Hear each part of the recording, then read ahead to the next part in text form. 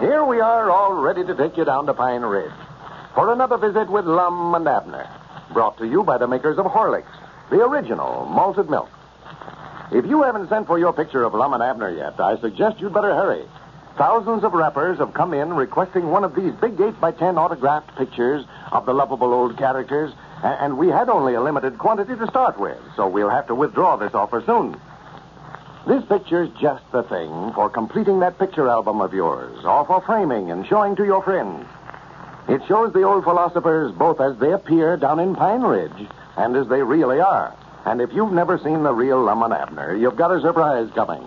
You'll never believe that the quaint, comic-looking old fellows at the bottom of the picture are the same persons as the two good-looking men at the top.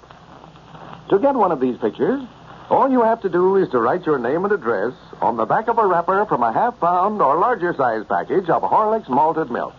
Then, send your wrapper to Lum and Abner, care of the station to which you are now listening. Got that? Well, you'll get your picture right away. And now, let's see what's happening down in Pine Ridge. When Lum and Abner turned all of their hogs over to Squire Skimp to sell for them, they neglected to get a receipt. Now the old fellows are at the mercy of the squire.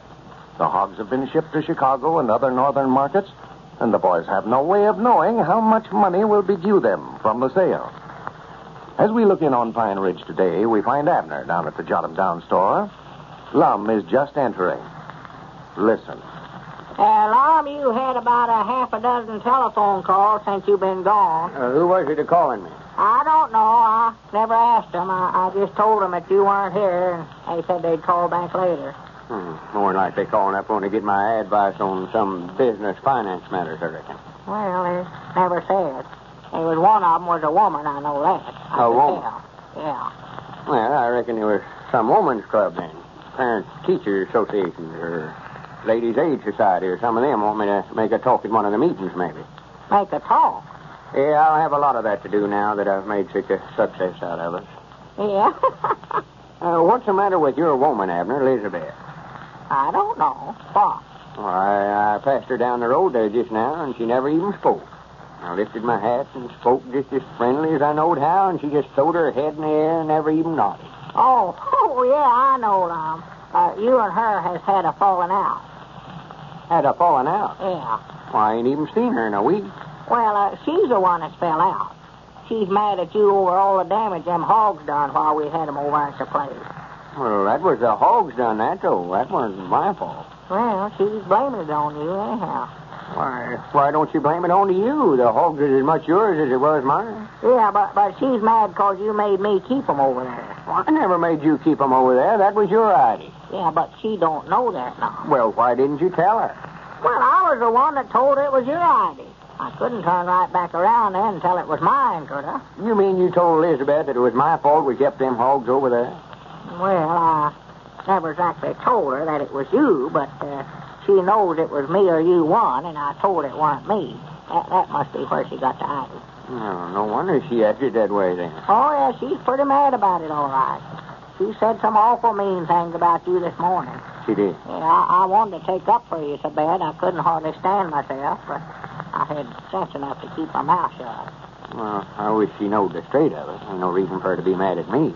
Well, now, you can't hardly blame her, though, Lum. If, if you worked as hard as she has, planting a garden and them flower beds out there, and then have a batch of hogs come in there and root it all up, why, you'd be mad, too, I bound you. Well, you talk like I was the one that rooted them up. Oh, no, no, she don't think it was you. She knows it was a hog.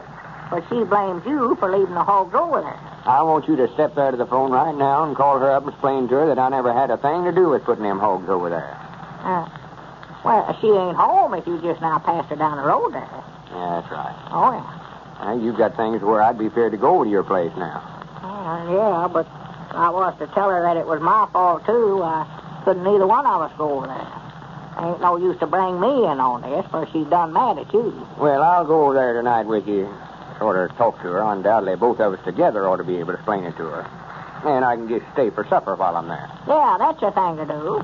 Just tell her that you never knowed that they was going to do so much damage when you sent 'em over there. Yeah, I'll figure out something to tell her. I'll get her back in good humor if I have to sit there till 9 o'clock talking to her. Yeah, I just got done patching up a little misunderstanding me and Evelina had with one another. Uh, What's the matter with you and Evelina? Ain't nothing the matter now. She just seen me all dressed up again today, and I hadn't been over to see her, and she figured I was sparking somebody else, maybe. Is, that where you been all afternoon? Well, I stopped by there a few minutes. I seen her coming home from school, and I catched up with her and walked home with her and carried her books and all. Yeah.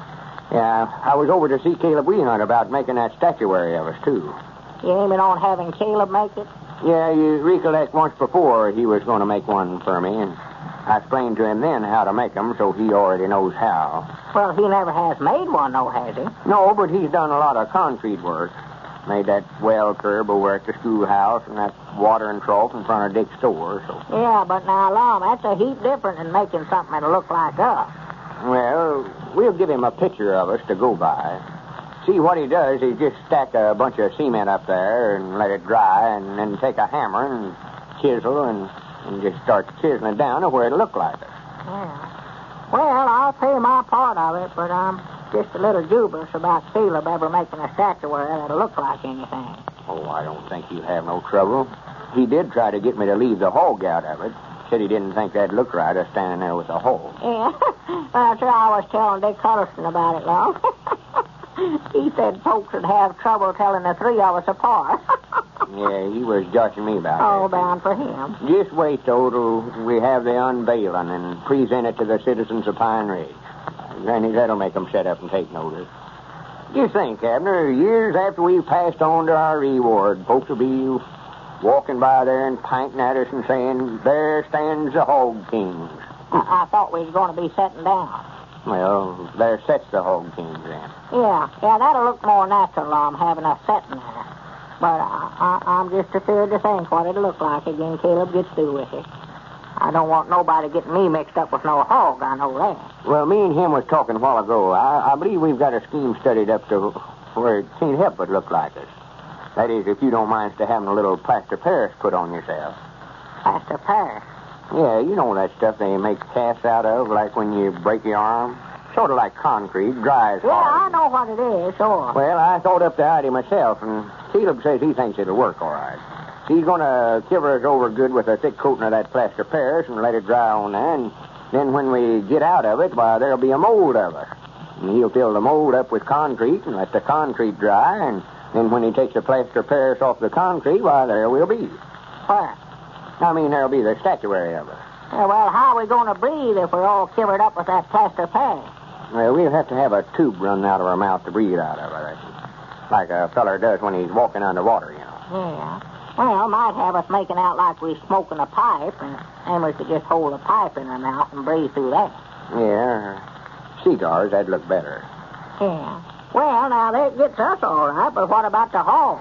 It wouldn't look right for him to be standing up there in a statuary smoking a pipe too long. No, I'm afraid we're going to have trouble ever getting a hog to stay still long enough for that plaster Paris to dry, too. Well, yeah, unless we catch one asleep somewhere. Well, Caleb's going to study about it, and I'm going to study about it some more. We'll figure out some way. We don't want to start no how till Squire gets back from Chicago with our money.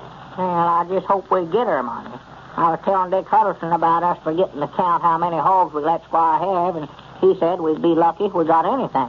Yeah, we'll lawsuit him to the high court to get that money. I'll tell you that right now. Yeah, but the trouble is, Lon, we ain't got no receipt, no showing of no kind. Dick says he wouldn't have to pay us nothing unless he's a mind to do it. Well, we've got proof, though, that we turned the hogs over to him.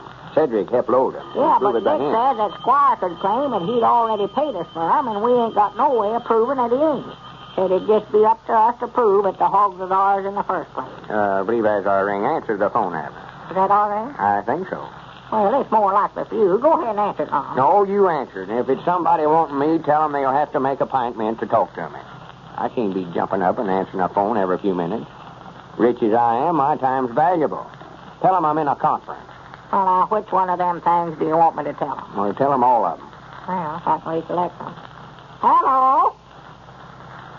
Yeah, he's here. Well, he said you'd have to make a appointment with him. Said he couldn't be jumping up and answering the phone every few minutes 'cause he's in a conference or something like that. Uh, tell him I'll give him a appointment at 2 o'clock tomorrow afternoon. Tell him to call me then. Uh, he said for you to call him tomorrow afternoon at 2 o'clock and he'll talk to you. huh?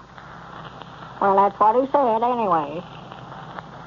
Well, you'll have to talk to him about that. No, I don't want to talk to him. I'm just telling you what he said. Yeah, he's so rich now that his time's too valuable to be talking to you on the telephone. That's what he said. That's your time, Abner. Just let them know how important I am. They don't want to call tomorrow at 2 o'clock. I don't care whether they call or not. Uh, he, he said it never made no difference to him whether he ever called or not. That's just what he said. All right. All right, Evelina. Goodbye. Who? What'd you say there to last? Who was that? Why, it was Evelina. I never seen her so mad in my life. Evelina. Well, why in the world didn't you say so?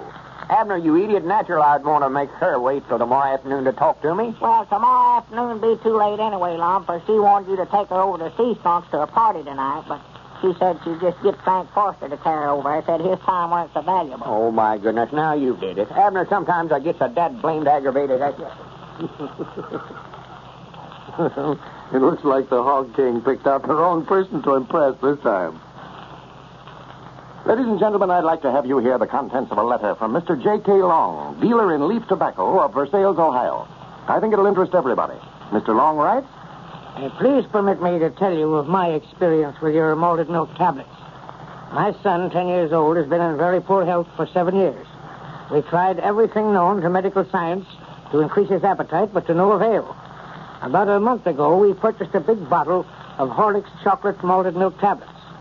They have so built him up that he has a wonderful appetite, eating anything and everything placed before him, and has gained 11 pounds in a little over a month.